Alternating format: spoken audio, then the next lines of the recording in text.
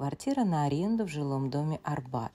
Расположена рядом с магазином Самир и Али, напротив района Илькаусер и очень удобный выход ко всей инфраструктуре.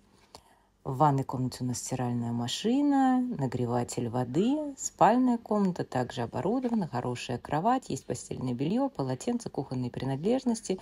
В каждой комнате потолочный вентилятор.